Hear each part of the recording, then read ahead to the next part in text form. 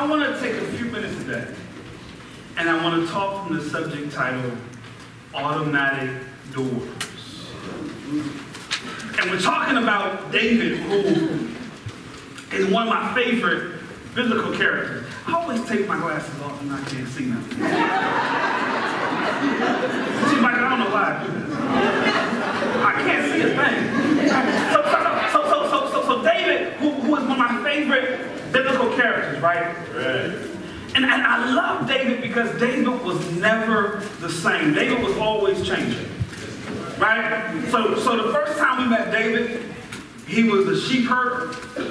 Right? He was the youngest of all of his father's sons. He was just in the fields. He was worshiping and singing songs. Right? A, a bear came and tried to attack the sheep. David had a slingshot, kills the bear. Lion comes and tries to attack the sheep. They have a slingshot, kills the lion. Yeah. Right? And so we knew David comfortably as the youngest son of Jesse, as a sheep herder in the backfields. Next time we see David, uh, uh, he is with his brothers on the fighting line um, against Goliath. Right? And, and, and David changes, and now David is the one that takes on Goliath. Right? And when he takes on Goliath and wins, now David becomes the warrior. David becomes the captain of Saul's army. He's no longer a sheep herder. Now he is the captain of the army who defeated Goliath. And so we know David as captain of the army. But then he changes again.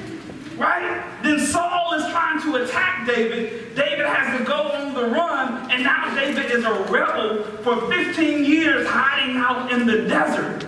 Right? On the run from Saul. And we know David Yeah. as the rebel.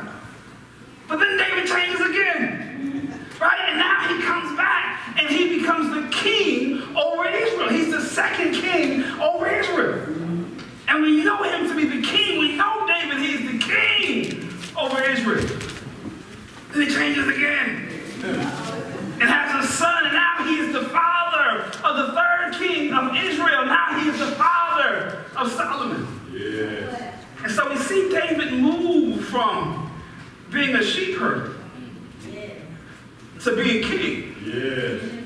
And what's interesting about that movement is that is that if you try to define David by when you met him, That's right. you would miss what he was becoming. If, if, if you try to define David by the moment you encountered him, then you'd be calling him a sheep herder when he was now a king. Yes, you were. You'd be calling him a warrior where he was now a rebel. You'd be calling him a rebel where he was now a king. And so we can never allow ourselves to be defined That's right.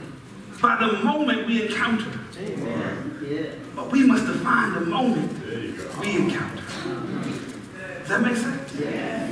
And so I like David because David is always moving, and even in this text, even in this text, David is, is on the move. Yes. Now, please understand, David was sent to the field where the army was gathered, not to fight Goliath. Right? That was not his assignment. Right. Right? His dad didn't say, David, your brothers ain't doing too well.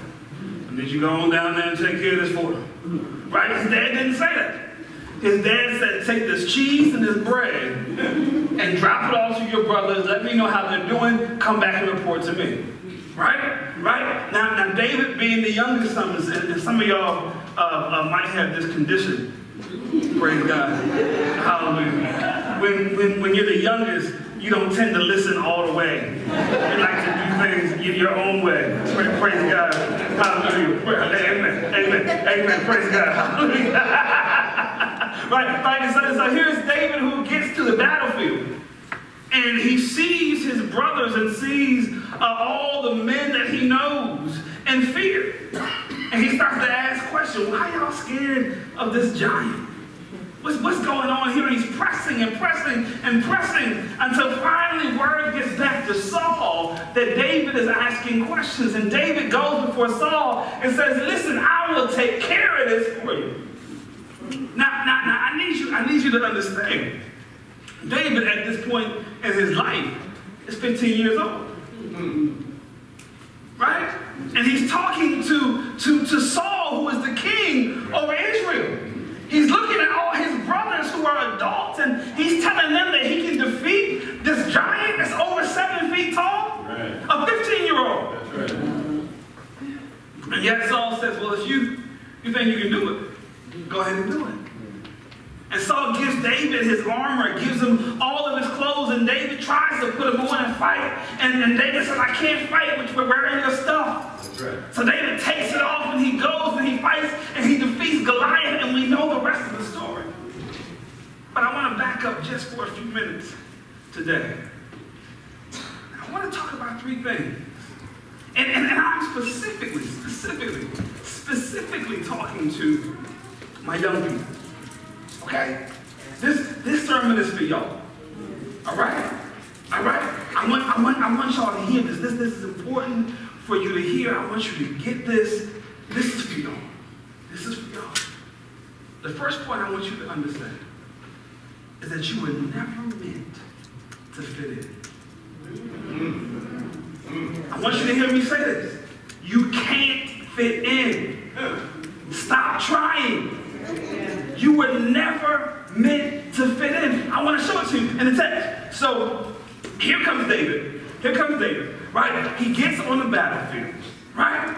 He, he, he- he's talking his way through, right? He finally gets up to Saul, who is the king. And Saul says, okay, well, if you're going to fight Goliath, you're going to need to wear my armor, right? And so Saul, who is king, puts on his armor on David, right? David is 15 years old. He's a child right? And he's wearing a king's armor. Oh, And he's trying to he's trying to go fight Goliath wearing somebody else's armor. That- how much sense does that make? You know how heavy that armor was? Right? And so here is David, and David is about to go into war trying to look like somebody else. But he stops. And he takes off the armor and wears his regular clothes and is able to defeat Goliath. Here's the thing I want you to get. If David had tried to wear Saul's armor, he would have been defeated. That's right. That's right. Let me tell you why. Number one, if he had tried to wear Saul's armor, he would have never been, he would have never looked for the rocks to defeat Goliath. He would have been trying to use Saul's sword. Now, if you can imagine a 15-year-old trying to use a sword, a king's sword, up against a giant with a bigger sword, he would have been defeated. But the fact is, he took off the armor and used what he know, knew how to use. God has given each one of you something special. It is unique. It is different. It doesn't line up with everybody else's stuff. But the only way you can be successful is if you use what God has given you. You, you, you weren't meant to fit in. If, if you tried to wear Saul's armor, you would get beat. You would lose. Why? Because Goliath was prepared to fight Saul.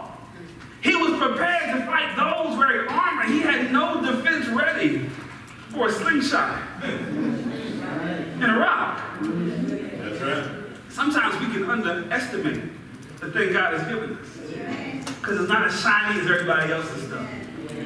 It's not as polished as everybody else's stuff. Yeah. It's not as big as everybody else's stuff.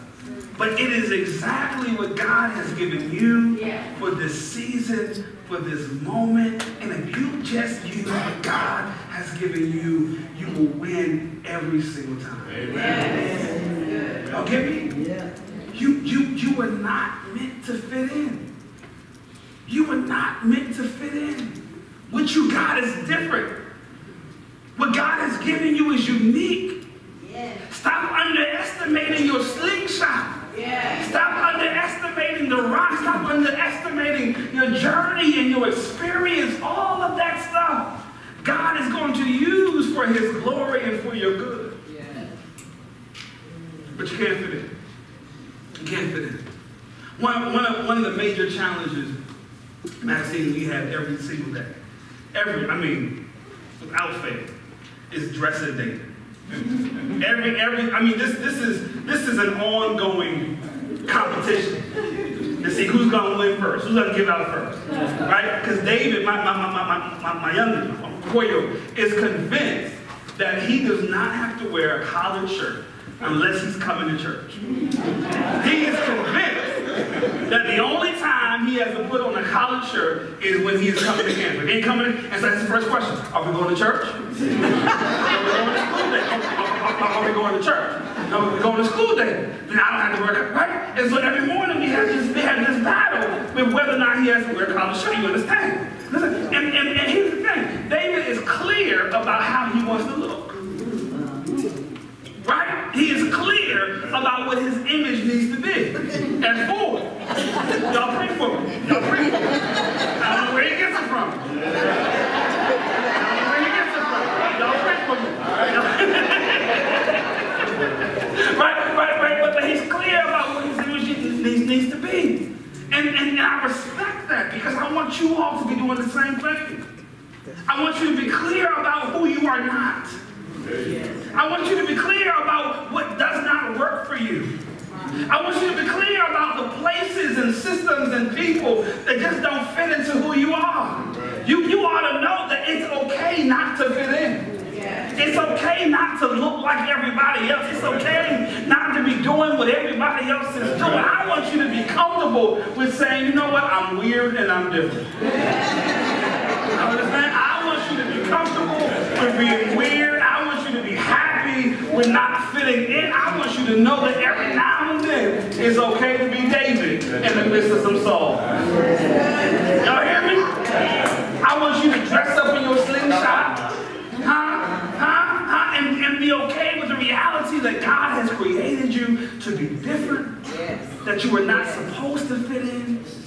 That God has called you specifically for this season and for this time to be as unique as you are. That's right. Do y'all get that? Yes. David does not fit in. So, number one, number one, number one. Number one, you were never supposed to fit in. That's number one. I want you to get that. I want you to get that. You were never supposed to fit in. Number two, not only are, are you not supposed to fit in, this, this, number two is big. Number two is big. You must always keep moving forward. Right. Tell your neighbor, keep, moving, forward. Forward. Here's the thing, here's the thing, here's the thing, here's the thing. If you, if you watch the text, David never stops moving in the text. He shows up on the battlefield, drops the cheese and the bread off, right? Right? Goes forward to his brothers, is surveying the scene, trying to figure out what's going on. When he's not getting what he needs for his brothers, he goes to Saul to try to figure out what's going on. Once he establishes that he's going to be the one to take on Goliath, right, he goes to the stream and finds the rock, right, and then goes after Goliath and defeats him. David never stops moving forward. But the reality is, everybody else in the text is trying to push him back. Everybody. When he shows up to the scene, it was his father who said, go get the report and bring it back. When he gets on his scene and starts asking questions, it's his older brother Eliab who, who, who, who gets angry and doesn't want to answer anything. Shouldn't you be caring for the, the, the, uh, the cheese? Shouldn't you be caring for the bread? That's what he said. Right? When he gets to Saul, Saul says, but but but but but but you're not qualified. You don't have what it takes. You you you you you- you're just a kid. And so every time somebody is trying to push David back, and every single time David just keeps moving forward. Yes, come on. Keep moving forward. Yeah. I don't I don't care how many times they push you. How many times they tell you you can't do it? How many different things they put in your way to tell you you're not qualified? You're not tall enough. You don't have the right grades. You didn't come from the right place. You don't have the right money. You don't have the right. I don't care what they say. You need to know if you just keep moving forward, you will get what God has for you. Do y'all get me? Y'all get me? Y'all get me? I need you, I need you, I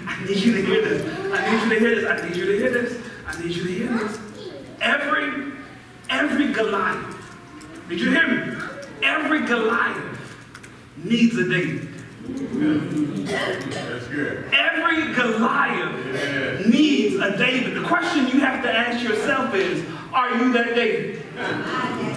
If you are encountering a Goliath, the question you need to ask yourself is, are you that David? Here's how you know. You know you David if when you encounter the Goliath, your instinct is to go after it.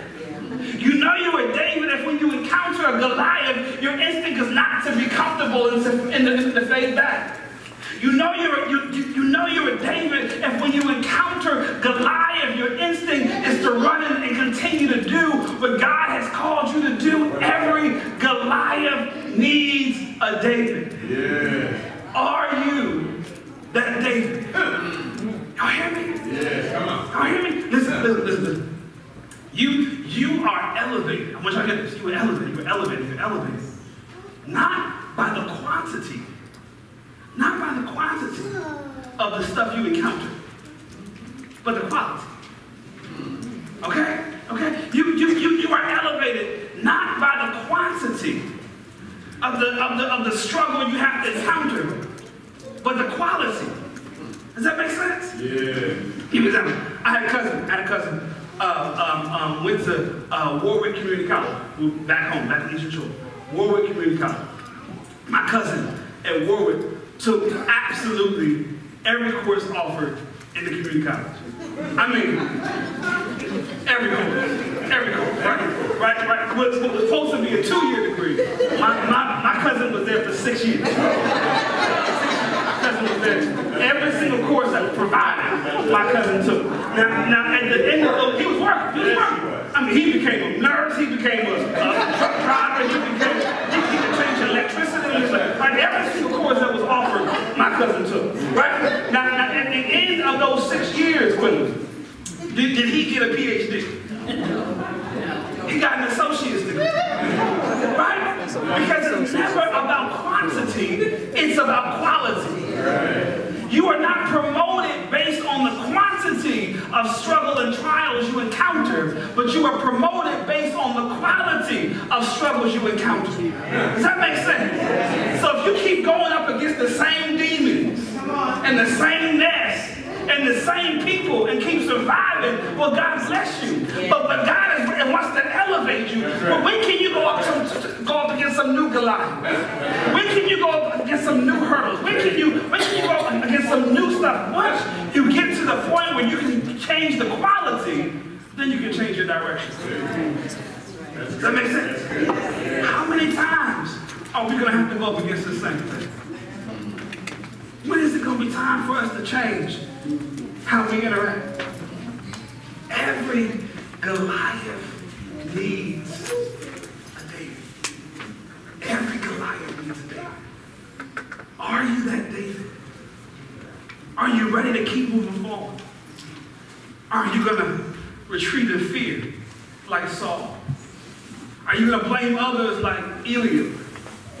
Are you going to stand and, and not do anything like the other children of Israel? Are you going to sit from your home and watch what's going on like Jesse? Or are you going to move forward and try to conquer this Goliath like David?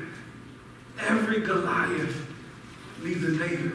I believe y'all are that David. I believe y'all are ready to attack and to fight everything we see today. That you're not comfortable with sitting still. That's right. That you're not comfortable with, with just taking it. That you're not comfortable with saying, well, this is the standard quo, this is the way it's always been. I believe we are raising, church, a generation of Davids. I believe we are raising a generation of Davids, a generation of young people who are ready to fight, ready to move forward with what they see and to not be comfortable or still. Are you that David? Number one, number one, number one, number one, number one, number one. Number one is this. Number one is this. You must be comfortable with not fitting in. You were never designed to fit in. You can't, even if you try to fit in, it's, it's, it's just not going to work. Right? There, there is such an anointing upon you, such a gifting inside of you. You were called to stand out. You were never called to fit in. That's number one. Number two, not only, not only are you not able to fit in, but then number two, you must always keep moving forward. Yeah. You gotta move forward. I don't care how much, how much stuff pushes you back, how many times the enemy is trying to stop you, you've gotta find a way to move forward. Yeah. And then number three, and I'm done. All right. Number three, and I'm done. Here it is, here it is. Look for the stream. Tell your neighbor, neighbor. Look for the stream. Look for the stream. Look for the stream. Look for the stream. Look, if, if, if, if you don't get anything else, if you don't get anything else, get this. Look for the stream. Look for the, the stream. Here's the reality. All of us, all of us will face mountains in our lives. That's right. All of us will come up against some warfare in our lives. And here's the crazy part about how they used to fight, right? So the enemy would go on one side of the mountain, and the people who were fighting would go on the other side of the mountain.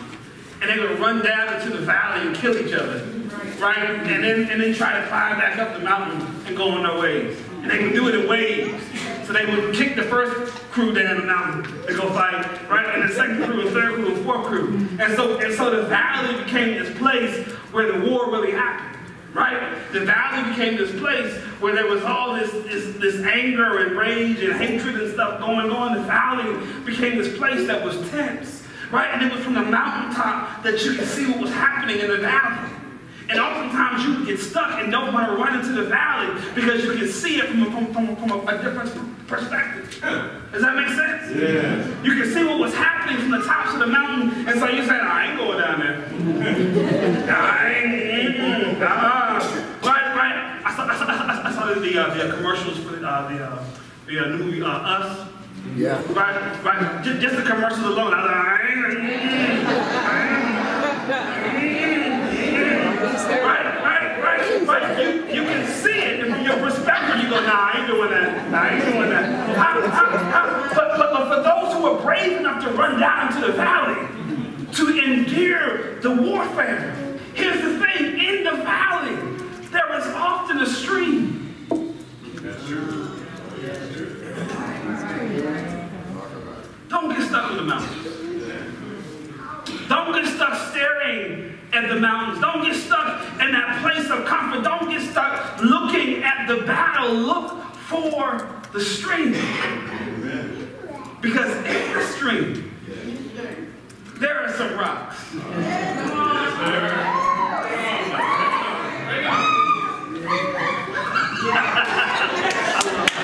Yo, I love her. I love her. I love her. I love her. I love her. I love her. In the in the stream, there are some rocks.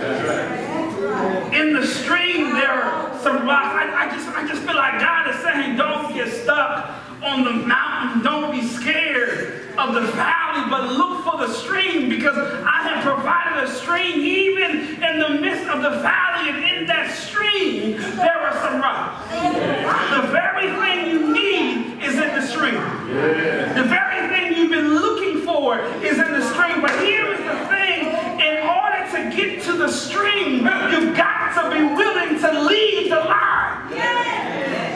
I want you to watch the text. The text says that when they got scared of Goliath, they all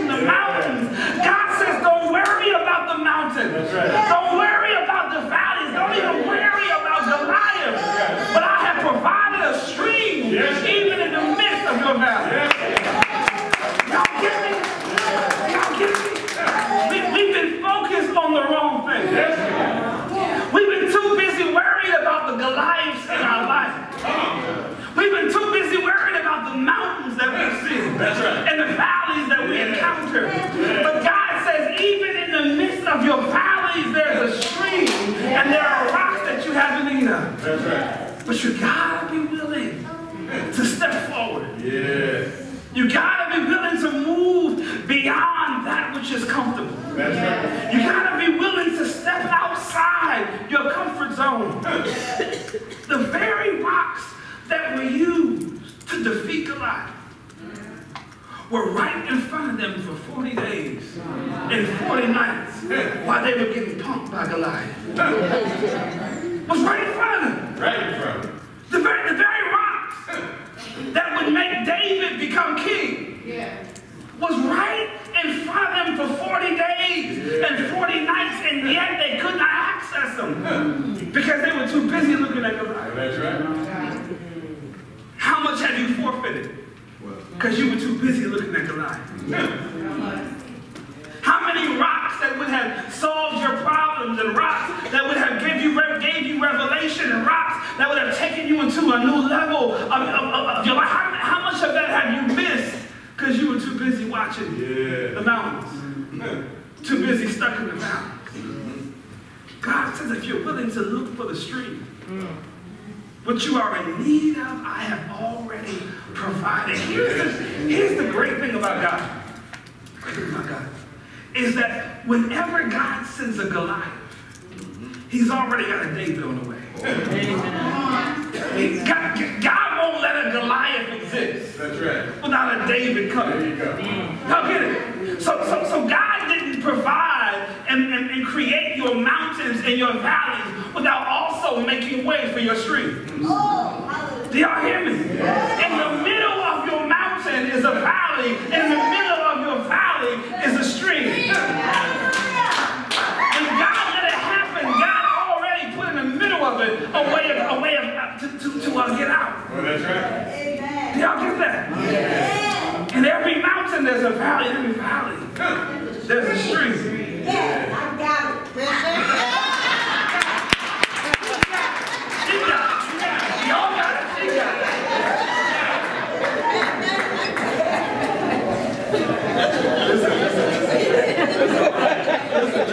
it. Listen, I want you to get this. I want you to get this. I want you to get this. I want you to get this. Stop being distracted. Stop being distracted by the mountains you see. Yeah. Stop being distracted by all the Goliaths who are rearing their heads and telling you what they're going to do and they're not going to do. Look for the stream. Look for the place of living water. Look for the place that God has provided. Look for that place of peace. Look for that Yeah. place of rest, even in the middle of your challenge. It, it ain't all bad. That's right. Y'all hear me? Yeah. It, it, it, it ain't all bad. And here, here's the thing. We will tell ourselves, oh, this is horrible. Oh, I can't go on any further. Oh, the sky is so black. Oh, my, my, my goldfish got diabetes and I can't even eat. Right? We, we, we will tell ourselves all this stuff, right? But the reality is, we're still here. We're still breathing. We still have, our minds are still going right. We still have activity